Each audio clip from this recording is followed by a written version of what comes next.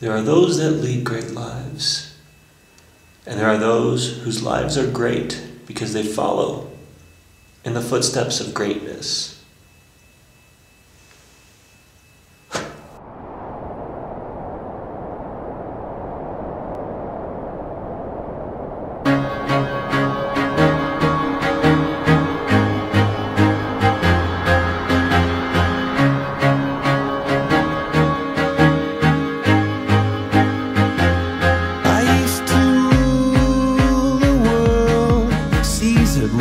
when I gave the word. Now in the